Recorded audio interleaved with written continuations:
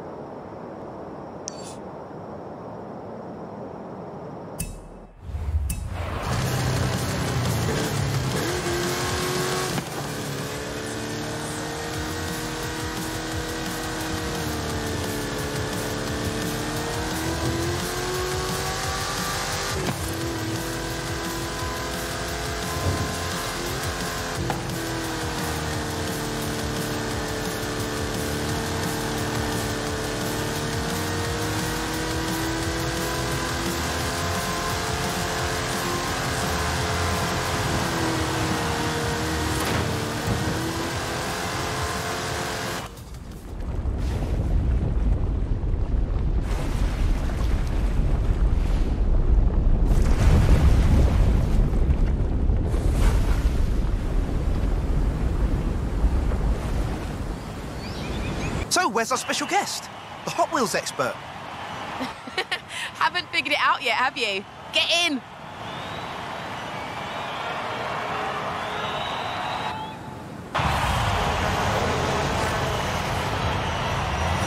Just look at this place. It's like a childhood dream come true. I thought I'd bring along a few friends who wanted to show off their Hot Wheels inspired cars. So, I've got some fact sheets here. You get to learn along with the audience. I'll just hit the record button and I'd never guessed, Haley. Stick with me, kid. The biggest Hot Wheels expert on Earth is about to take you to school. It all started with Elliot Handler, who saw the toy cars his son played with and thought to himself, I could make something better. You see, right from the very beginning, Elliot envisioned a toy car that looked cool and rolled fast, making it that much more fun to play with. At the time, there was nothing out there like that. Handler brought in former rocket engineer Jack Ryan and General Motors car designer Harry Bradley to help. And between them, they made the first 16 cars, known as the Original 16.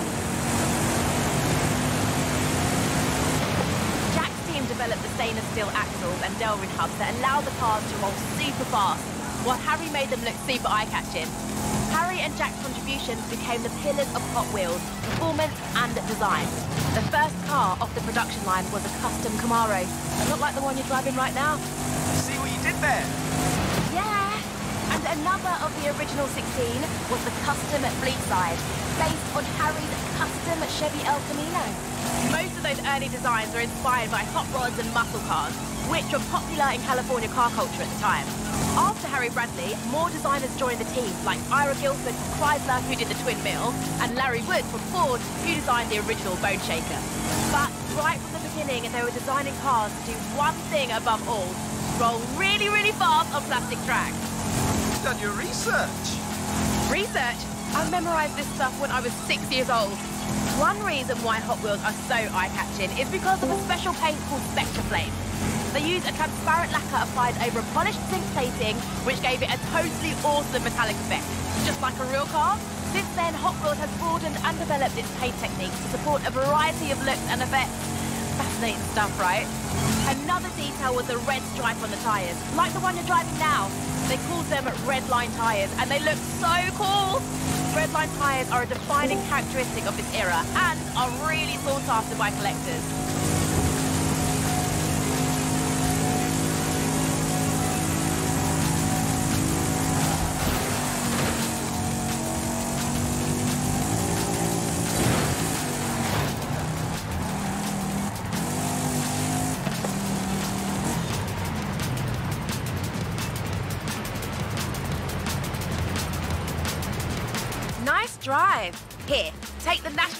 1957, winner of the Legends Tour 2019. Thanks, Haley.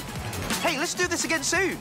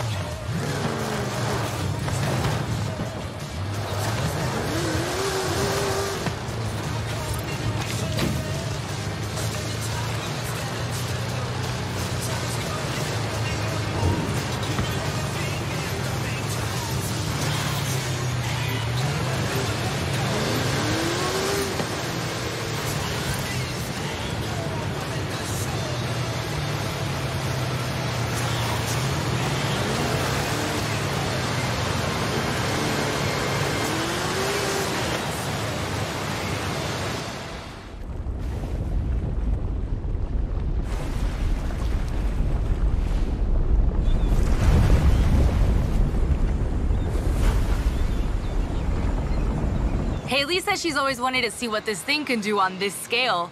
So for that, I think we need to take it surfing. For your next qualifier, you'll need to prove you can take on the water flumes at high speed. Let's go.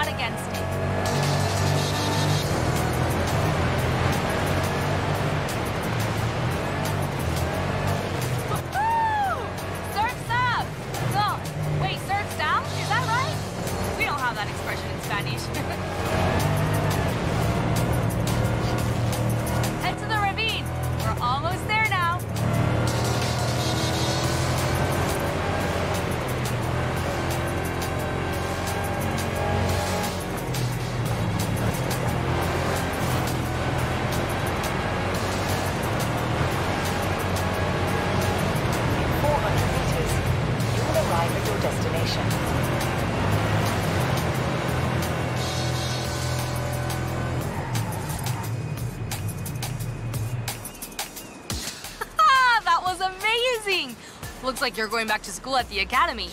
You're a pro rank now. Oh, and you can keep the Deora.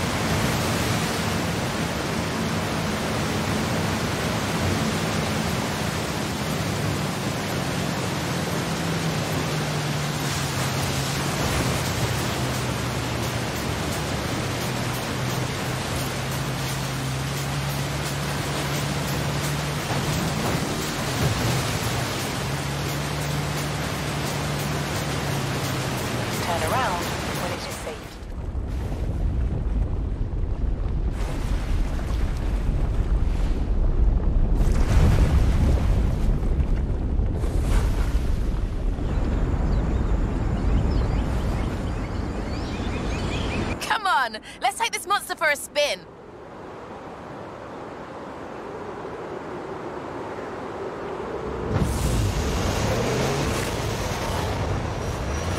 Careful! Technically, that's more than 1,400 brake horsepower you've got there.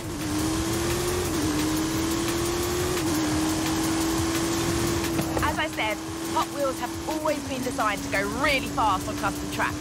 So, what do you do with the track? Well, you make it in segments so people can build whatever they like. Then you invent a battery-powered booster to shoot cars along the straight and a speed brake to slow them down for tight turns. You can even tune how fast the booster will propel the cars. But why stop there? Loops, jump ramps, bank turns, gravity drops, trestle bridges, chicanes, crossovers, lap counters, multi-lane, side-by-side racing launchers. All fully compatible, of course. That's just good engineering. They even made an auto shop with a working dyno and a teeny tiny oil can and wrench to tune up your cars.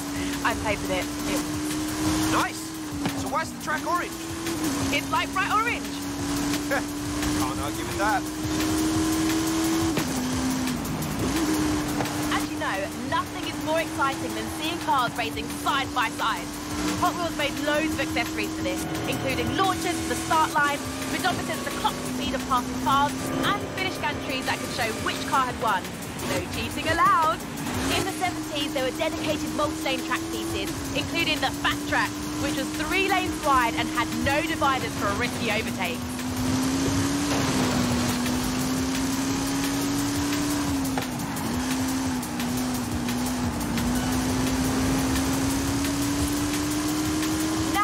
There's even more fun stuff to play with. You've got figure eight, multi-story garages, rubber band kickers, and even giant sharks and dinosaurs that chomp on the track. Why else do you think we've got a giant dragon right here at the park?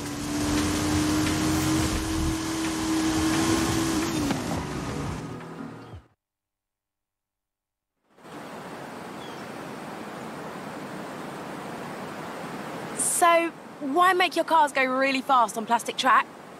I give up. Why? So they go further when they jump off the end, of course. Come on, let's go.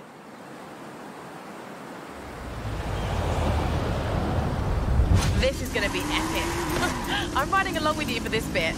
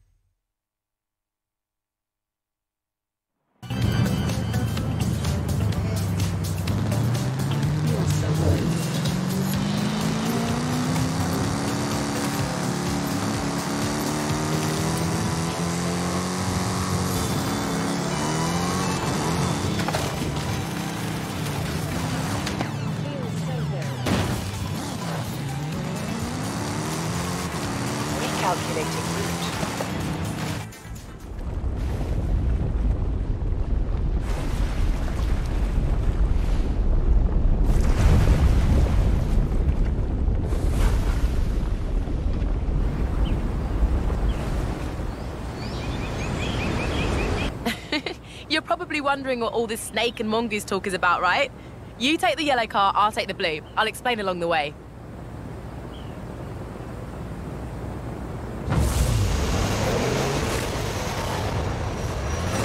You've heard of Don Prudhomme and Tom McEwen, right? They were famous NHRA drag racers in the 70s who had a friendly rivalry going on for years. A four-time National Hot Rod Association champ and Motorsport Hall of Famer. He was nicknamed the Snake. And Tom McEwen was another dragster who won the NHRA US Nationals. They called him the Mongoose. They were both well-established racers in their own right. As the two of them competed in the US Nationals over the years, they crossed paths numerous times, which sparked a friendly rivalry between them. Mattel proposed to make a series of toys based on the rivalry between the snake and the mongoose. The Hot Wheels sponsorship led to all kinds of drag-themed stuff.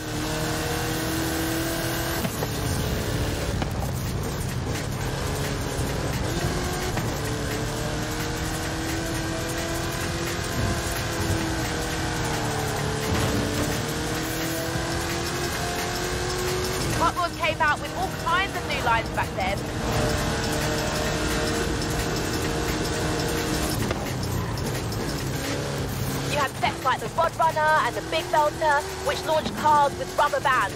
The Big Belter could even detect jump starts, which is pretty cool, right? These were a smash hit and propelled both Hot Wheels and drag racing to greater levels of fame.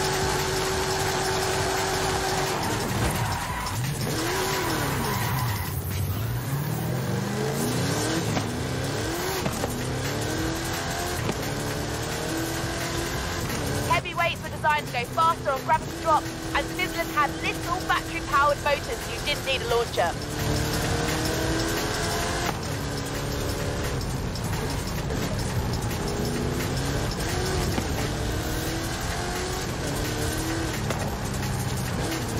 And a new designer named Paul Tam started drawing six-wheel designs like Six Shooter and Open Fire.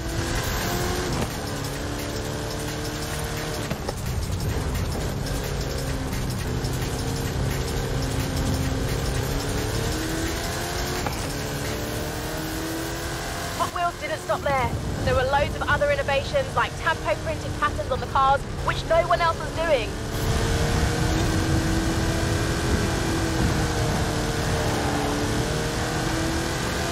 Then you had the Hot Wheels Collector's Club Kit, where you could mail in to get either the Boss Puff, Heavy Chevy, or King Cuda, all with open hoods, big supercharger blowers, and silver paint jobs. Oh, so cool. Wish I'd been around back then.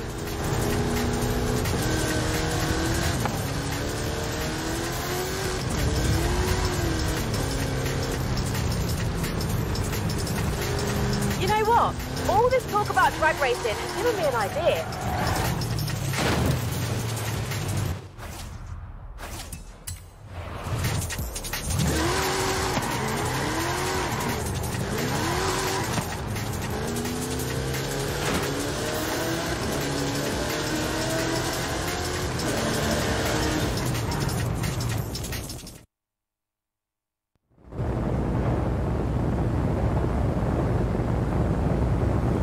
The original Snake vs. Mongoose set were powered by rubber bands. These ones, well, aren't. How about you and I test them in a drag race? Bring it on, Haley. Let's go.